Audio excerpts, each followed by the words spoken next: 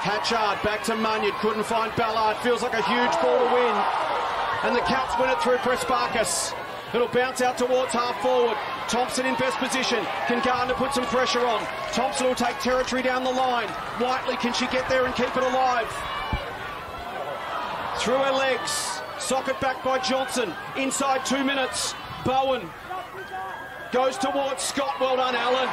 Used the body superbly.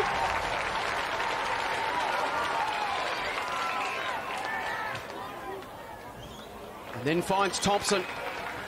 Adelaide will be happy to play some possession football and even better if they can put some territory in here as well. Delivery inside 50. Hatchard versus Gunjaka. Sweeping onto it, Ponter from the angle. Across the face. And in the end, that's a great result for Adelaide. Keeps it locked in their forward pocket as opposed to handing Geelong the ball back with 85 seconds on the clock. The behind would have meant nothing.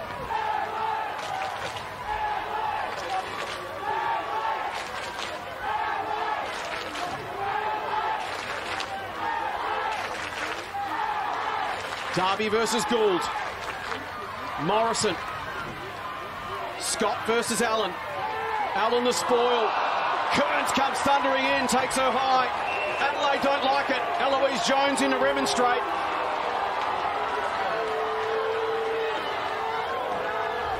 Is it going to be reversed? It is. For the remonstration, it's a Geelong ball going to Rachel Kearns. They've got to go, the Cats. What a big call that was. Mueller hunts it on the deck. Jones in there. Moloney needs some help. Gets it from Darby. Takes some territory. Finds Gardner at half forward.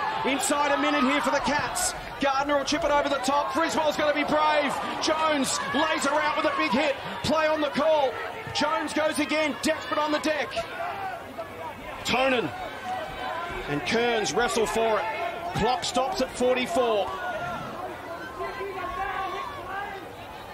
Darby and Gould. Again, a great tap. Hatchard to Ponter, and she's over the back. Danielle, can she go all the way? She'll run away from Johnson. She'll run inside 50. She'll run inside 35. Ponter, and leaves it behind. Johnson's still there. Cats have got 28 seconds to go the length of the ground. They have got some numbers. Gunjaka over the top. Friswell needs to move it on. 15 seconds. Darby over the top. Morrison Handball goes out. Adelaide ball and the Crows will hang on.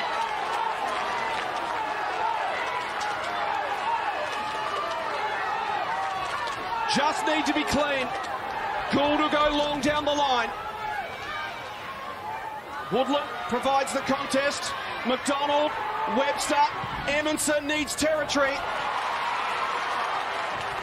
It'll come back inside.